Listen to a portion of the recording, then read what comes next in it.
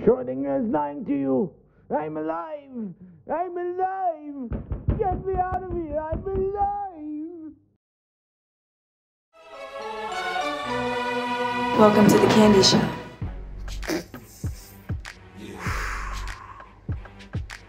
Tell Schrodinger that I survived. When I was 10 years old, my goofy ah uncle tried to get me to touch his weenie doodle. My mom caught him and beat him with a pan. I created an explosive bomb and put it in my sister's lunchbox and blew her to smithereens.